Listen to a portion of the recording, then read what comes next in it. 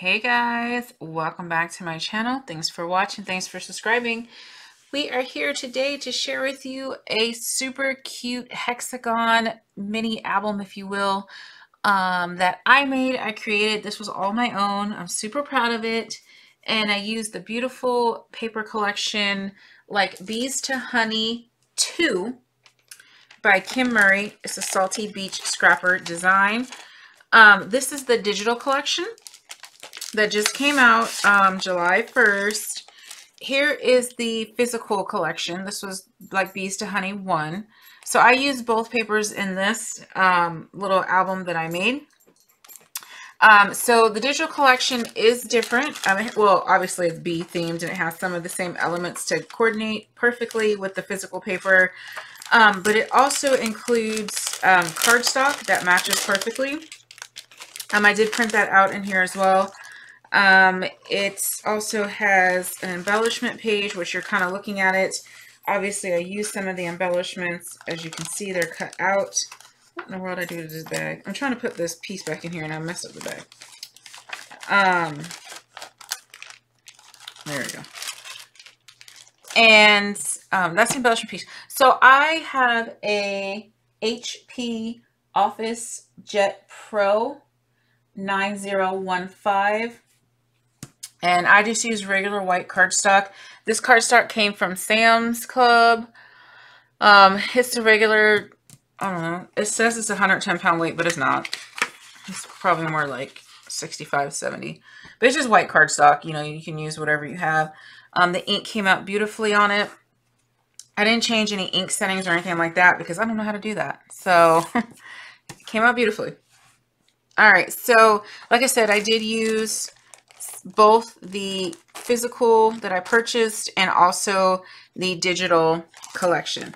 Now, I just have some scraps left over and some, um, excuse me, some hexagons left over. So um, this was the digital collection. Obviously, it's going to be white on the other side. Here's a piece of the digital collection. This was one of the physical papers. This was from the digital collection. So I just kind of cut everything up um, to how I needed it to be. Um, that's from the physical. So it was really cute. I got to use a lot of the different parts. I mean, I figured I'm actually making this for someone and I figured I would go ahead and include all of these scraps in case she wanted to make tags or matching cards. Um, this this paper right here actually was the very last page of my album. It had a, a, a honey jar. Um, this one had, I think, a bicycle. I ended up not using the bicycle, and honestly, I don't know what I did with it, but it was just a big bicycle like that. Um, and then you have your queen bee with the green.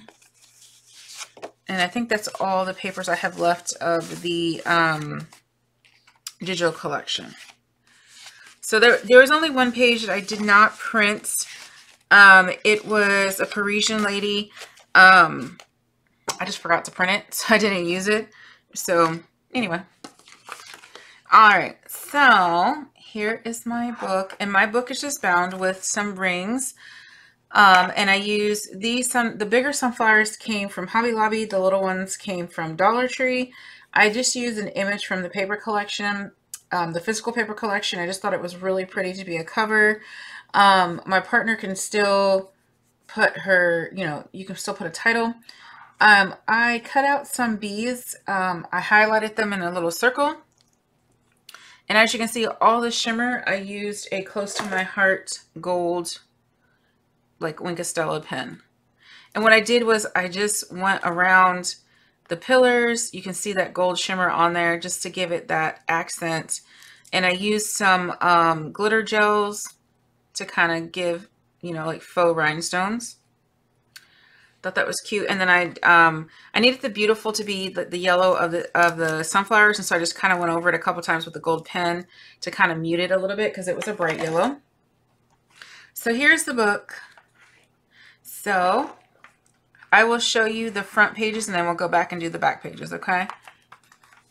So here's the first page. It is so cute. So I did a little flip here is one of the um, solid printable colors and I inked it with brown just to kind of give it like a sunflower look, I guess is what I was going for. So there's that page. And like I said, I'll show you the back pages and when I flip it.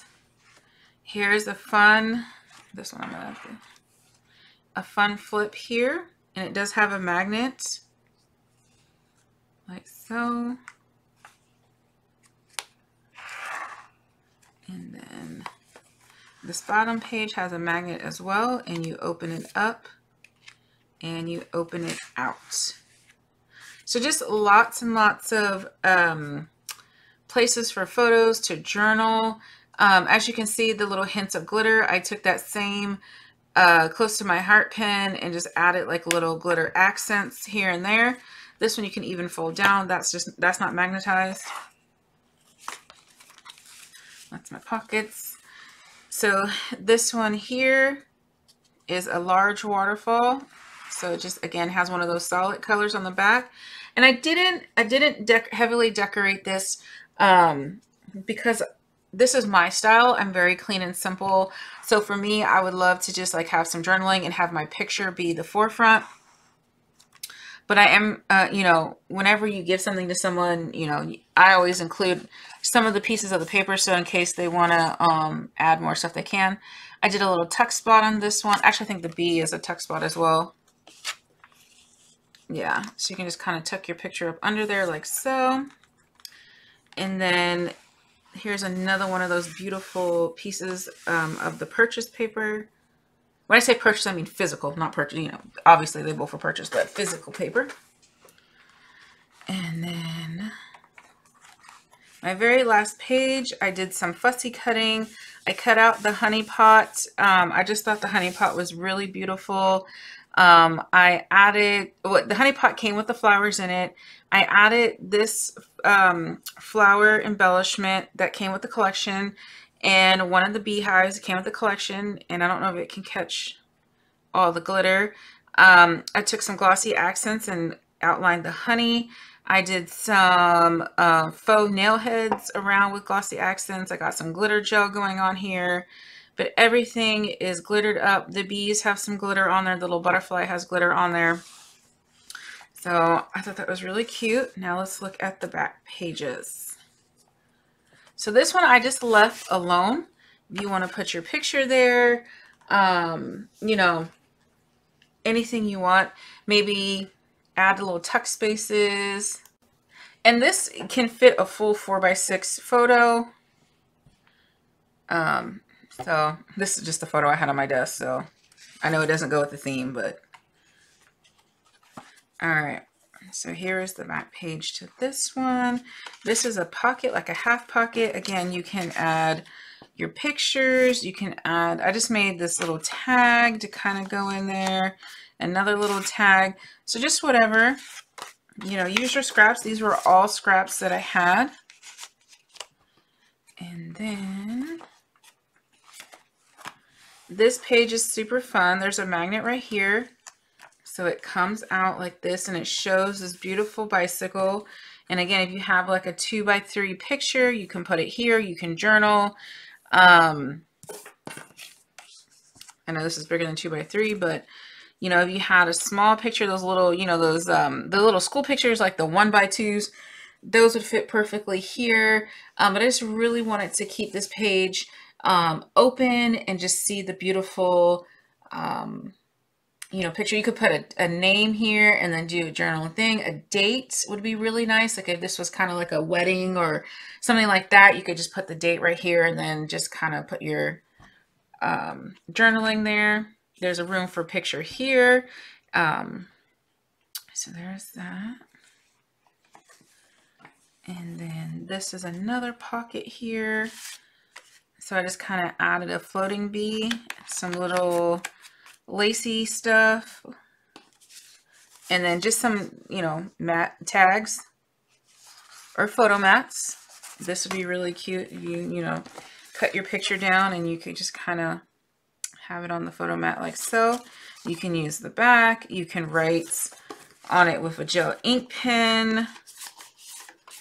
all of that would be super duper cute. And then I just kind of highlighted some of the sunflowers. This was just some of the scrap. I thought it went perfectly right there just to kind of give it that extra um, pizzazz. And again, it's glittered. And then here's the Be Beautiful. The Be Beautiful is glittered as well. And then here is the back of the cover. So I just really love this little um, French page, the little bicycle, all that super cute. And so obviously when you have the book yourself, you're going to enjoy it not laying down. You'll enjoy it this way. Um, it does stand up by itself. And so, um, you know, you can have it displayed on your living room, um, coffee table. It's just a beautiful display piece. The back I left blank. Again, you could put your picture back there. Um, you could do some journaling, um, whatever you want. So this paper was one of the digital. And I don't know if you can see that it has digital shimmer and glitter. Um, oh my gosh, I think I glittered my hand. But yeah, so it's super beautiful. I love it. I just tied it together. Well, I didn't tie it together, but I added some black and white ribbon trim. You know, you can go all out. You could put eyelash trim. You can uh, maybe put some twine, um, whatever you want to kind of cover up the binder clips, but yeah, that's what I made. And you guys definitely check out Kim Murray. This is like Bees to a Honey um, digital collection and the physical collection. Well, thanks for watching, guys. Bye.